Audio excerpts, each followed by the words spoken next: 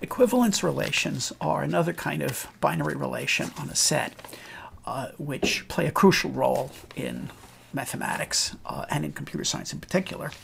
And they can also be explained both in terms of digraphs and in terms of axioms. So let's begin with a digraph explanation of an equivalence relation.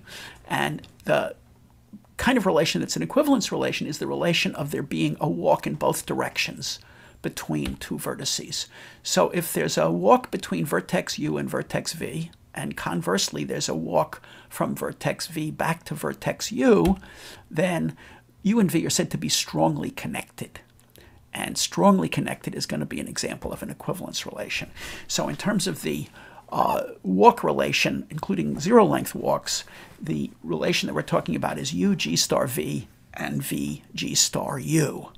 Now, as a property of relations, this has a name. It's called symmetry. So a relation R on a set A is symmetric if and only if ARB implies BRA. And the first remark is that the strongly connected relation is symmetric.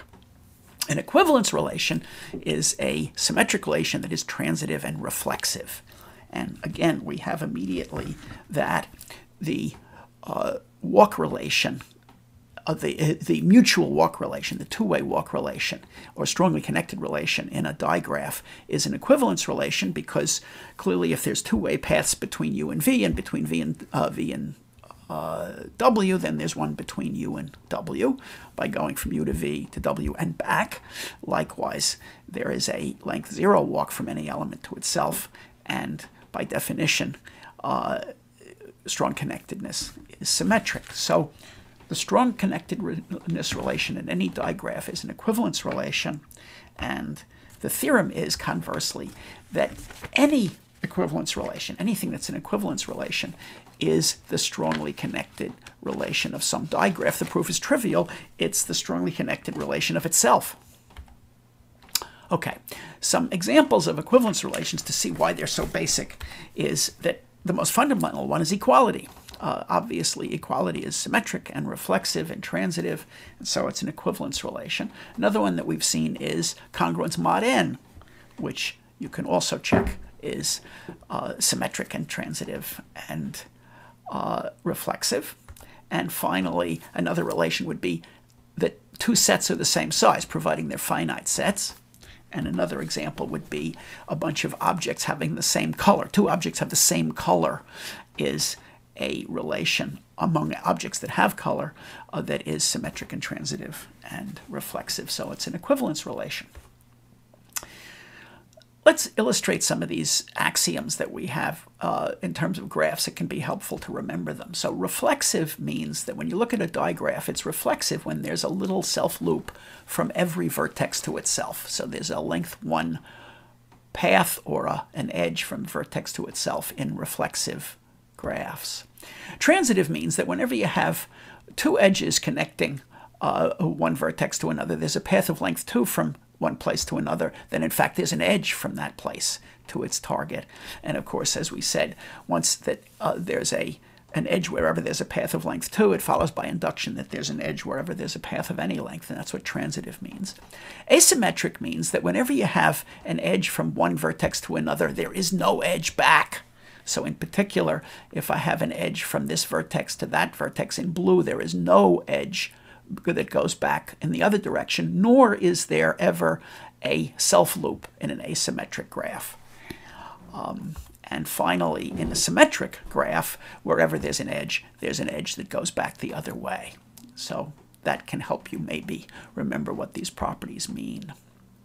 Now, again, equivalence relations, besides being represented in terms of the strongly connected relation of a digraph, can be represented in two other very natural ways that really explains where they come from and what their properties are. So whenever you have a total function f on a set A, uh, it defines an equivalence relation on the set A. Namely, if f is a total function from domain A to codomain B, then we can define an, a relation we can call equivalence sub f on the set A by the rule that two elements are equivalents of f if and only if they have the same image under f. They hit the same thing. That is, A is equivalent of f to A prime if and only if f of A is equal to f of A prime. And again, equivalence of f immediately inherits the properties of equality, which makes it an equivalence relation. And the theorem that we have is that every relation R on a set A uh, is an equivalence relation if and only if it in fact is equal to equivalence of f for some function f. Uh, let's illustrate that. We already remembered that congruence mod n can be understood as equivalence sub f where the mapping is just map things to remainders. Two numbers are congruent mod n if and only if they have the same remainder on division by m by n. So map a number a to f of k equal its, its remainder, and we have found the equivalence of f representation of congruence, which is another way to verify that congruence is an equivalence relation.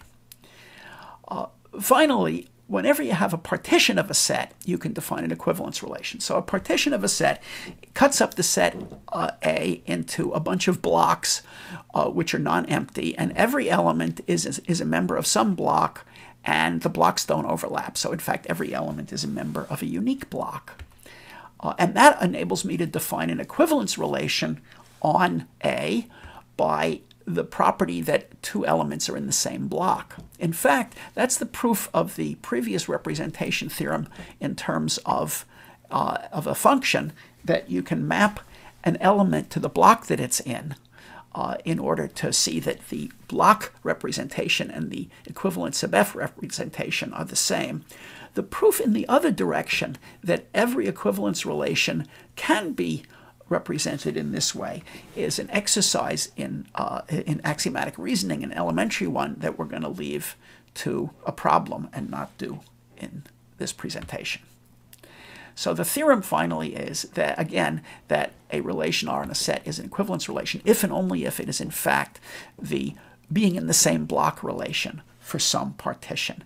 And that is the story and multiple ways of understanding what equivalence relations are.